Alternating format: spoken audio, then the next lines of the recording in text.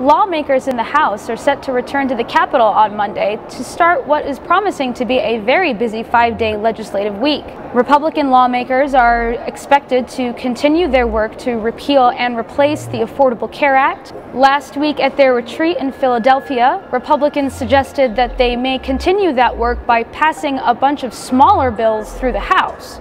While they can accomplish a host of those in that chamber, they may face some hangups in the Senate, which is much more closely divided. Last week, President Trump suggested that he would use Speaker Ryan's tax reform plan that included a border adjustment, which would involve taxing imports from Mexico as a means to pay for the wall. This plan is probably going to get a lot of backlash from House Democrats, but it also might upset some House Republicans who call the border wall plan ineffective and very expensive. Some estimates for how much the wall would cost are upwards of 12 to 15 billion dollars. That's going to be a problem when it comes to not only Democrats, but also some moderate and fiscally conservative Republicans. It remains to be seen how leadership can get all of their conference on board to pass what President Trump promised on the campaign trail. Overall, Congress has a lot of work to do to implement all of President Trump's campaign promises.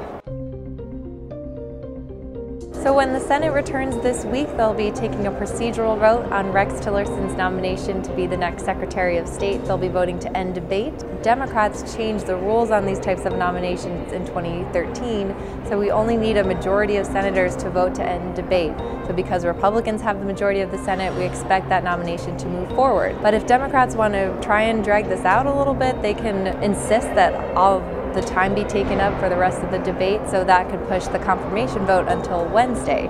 And you can expect to hear a lot about Russia from Democrats who will likely be going to the Senate floor to talk about Tillerson's nomination. He's the former CEO of ExxonMobil. We'll also see some more action this week on nominations uh, to President Trump's cabinet uh, the Senate Judiciary Committee will be voting on Senator Jeff Sessions of Alabama's nomination to be the next Attorney General and the Health and Education, Labor and Pensions Committee will be voting on Betsy DeVos's nomination to be the next Education Secretary. Betsy DeVos's nomination has caused quite a bit more contention in committee uh, Senator Patty Murray, who's the ranking Democrat on that committee, has actually asked for another hearing. Democrats say they have more questions about her financial conflicts of interest um, and some of her ethical issues as well. But Senator Alexander from Tennessee, the chairman of that committee, has said we're not having another hearing. Mrs. DeVos have, has sat before our committee longer than other nominees and he's argued that she's met with all of the committee members so that she is ready to go. But you can expect to hear Republicans and Democrats continually, continuously uh, remaining at odds over the nomination process. Republicans have been really frustrated with Democrats, accusing them of slowing nominations down. Uh, one Republican said last week that they're creating a circus out of this process.